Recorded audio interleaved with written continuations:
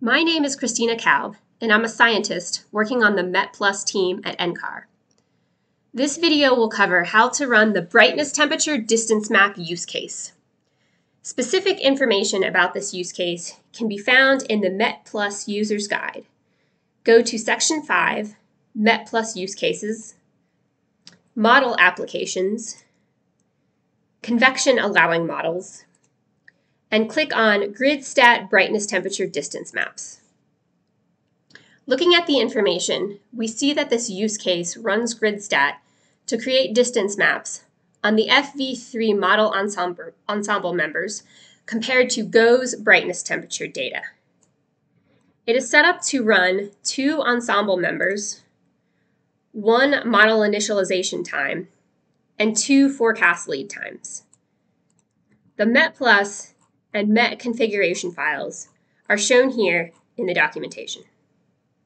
If you want to learn more about GridStat and distance maps, go to the MET User's Guide under Section 10, which is on the GridStat tool. This video assumes that you have already installed MET and set up your environment for MET+. Information on how to do this can be found in Section 1 and the installation and setup sections of the online tutorial topics. Here we will be using the recommended setup, which is first passing in a use case specific configuration file, followed by a second configuration file with settings that are specific to the system we are using. So let's go ahead and take a look at the parameter file and the settings for this use case. We'll first go into the METPLUS repository. Tutorialsystem.conf is the system-specific configuration file. The use case specific configuration file is located under PARM, Use Cases, Model Applications, Convection Allowing Models, and it's called GridStat Forecast FV3 OBS GOES Brightness Temp DMAP.conf. So we'll go ahead and open this file. If we first look at the process list inside this file, we will see that there are two instances of GridStat. These two instances are for the two ensemble members, and the values in parentheses are identifiers for the members. So if we scroll down to the bottom of the file and we look at GridStat output prefix and forecast GridStat input template, we see the word instance in curly brackets in both of these variables. This value is set to the ensemble member in parentheses in the process list when METPLUS is run, and it's how it points to the different members. Next, let's check our paths to the input data. To do this, we'll need to know the value of input base as it's given in forecast gridstat input dir and obs gridstat input dir. So we'll go to another terminal and pull up tutorialsystem.conf.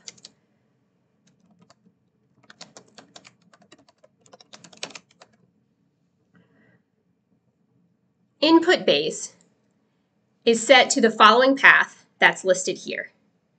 So we can combine that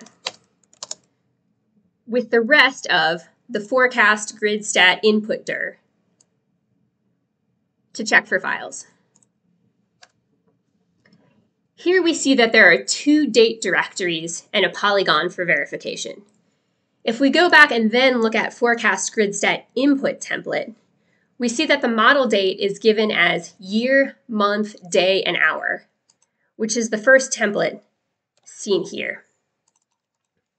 Inside this directory, we will see that there are four ensemble members, but only two will be run for the use case. So let's check the first ensemble member and see if we've got files. Here we see that there are two files one for the one hour forecast lead time and another for the two hour forecast lead time, which is as we would expect. So next, we'll go ahead and check the observed input files. OBS gridstat input dir is the same as forecast gridstat input dir. So we'll copy paste. However, in this case, the observed input template is given as year underscore month underscore day underscore 141. So that's the second directory listed here. Inside this directory, we see that there are two goes files, one for the one UTC valid time and another for the two UTC valid time. Next, let's check our input variables to be sure that we have them correctly specified in the configuration file. First, looking at the model data, we will open a model file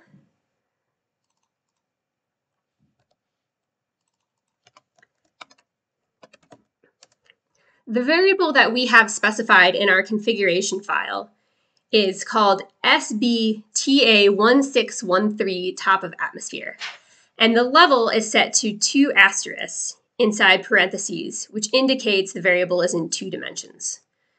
If we scroll through our input file, we see that variable name SBTA1613 is listed here and it's in two dimensions. So our model variable is specified correctly. Next, we'll check the observed variable. If I scroll up so that I can get the directory as we listed previously, looking at the configuration file, the observed variable is called channel 13 brightness temperature, and it's also in two dimensions. Scrolling down through the file, here we see channel 13 brightness temperature, and it's in two dimensions in our OBS input input file. Additionally, in this case, we're using a threshold of 235 Kelvin to create the distance maps. And finally, to get distance map output from GridStat, we have to set the GridStat output flag DMAP in our configuration file. It can be set to either stat or both. Here we have it set to both, which will produce two output files, a .stat file and a .txt file. So now we're ready to start the use case. We start by calling the script run metplus.py, which is in the USH directory, followed by a minus C, and then our use case specific configuration file, followed by a minus C, and then our tutorial or system configuration file. So here the use case is running. It will go through four calls to GridStat, one for each of the two forecast lead times and ensemble members. And the MetPlus run has now finished successfully. So let's take a look at the output to be sure that we have what is expected. We'll first go back to the use case documentation. Scrolling down to the expected output, we can see that the expected output is 12 files.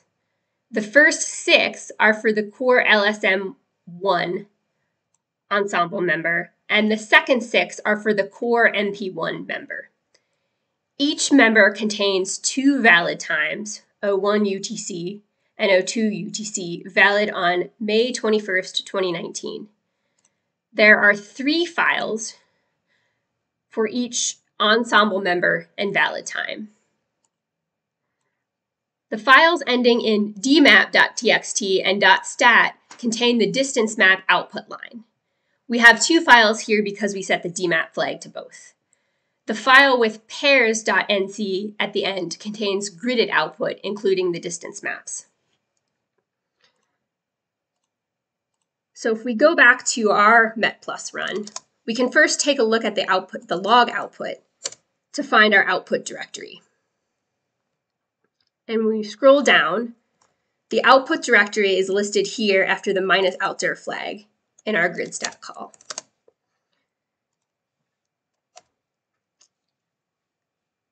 Looking inside this directory, we see that we have all 12 expected files. Finally, we can make a distance map image by using the plot data plane tool in MET.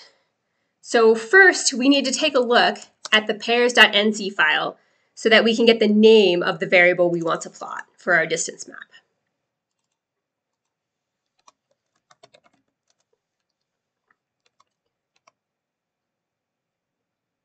The OBS distance map variable is specified here, and it's in two dimensions. So exiting out of this file, we can now call plot data plane using plot data plane and then we specify the input file name. And then secondly, the name of the output PostScript file we want, which I'm going to call distance map.ps. And then the variable we want to plot is specified using the following string by calling name equals and our variable name in quotes, followed by a semicolon, and then level equals, and in this case, two asterisks in parentheses in quotes.